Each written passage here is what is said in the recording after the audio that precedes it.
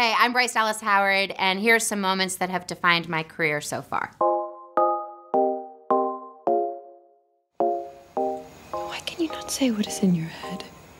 Getting to do The Village was pretty awesome. M. Night Shyamalan, I've always been really into him. I remember watching all of the DVD extras for his movies, and I would see like all the behind the scenes stuff. He was approaching filmmaking in a way that was very youthful and fresh. I mean, he was in his 20s when he did Sixth Sense, and I'll never forget this. This was a really weird, kind of crazy thing where I was I was performing on stage and I saw him in the audience and I recognized him because of the DVD extras, like the behind the scenes of Unbreakable, seriously. I was like, oh my gosh, that's M. Night Shyamalan. But he ended up waiting after the show and, and introducing himself and I was like, oh my gosh, and got to meet him. And then three weeks later, he reached out to my reps and he was like, I'd like to go to lunch with Bryce. And I had no idea what it was for, obviously secretly hoping. And midway through lunch, he had a manila envelope and he, he slid it over to me and he was like, I don't know how to say this, but I want you to be the lead in my next movie. I went home to my apartment and my then boyfriend, now husband, I opened it and he read it over my shoulder and he was crying. Like I was totally in shock and he was so emotional throughout. He was like, this is an incredible scene. I'll do whatever it takes to protect our children. The help was an amazing experience overall. Like it's kind of one of those idyllic filmmaking experiences where we loved the book, uh, we loved each other, we were in Greenwood, Mississippi.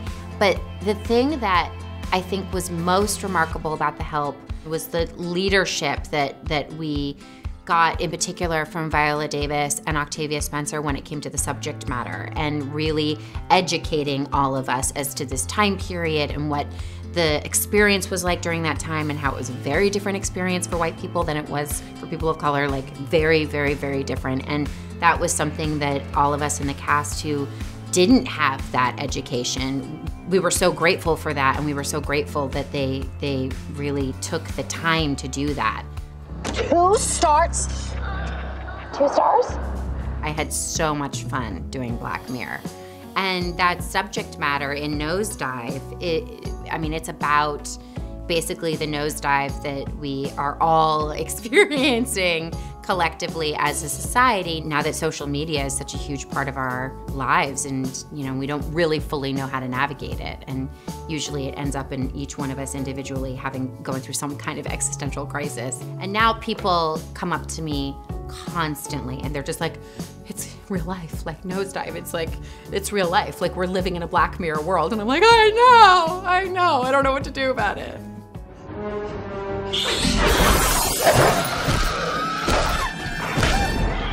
Colin, who wrote and directed the first Jurassic World, he reached out to me. And so by no means did I expect that I was gonna get part, you know, in this like huge movie. And then a couple weeks later, he called me and he was like, I'm calling from the top of a mountain in Hawaii. And, you know, I kind of wrote this part for you. And and we all feel like you're really right for it and and so we would like to offer it to you. I guess there's maybe an assertive side of my personality that resonated with him and that was maybe kind of foundational in terms of the character. It's amazing to get to be a part of this saga.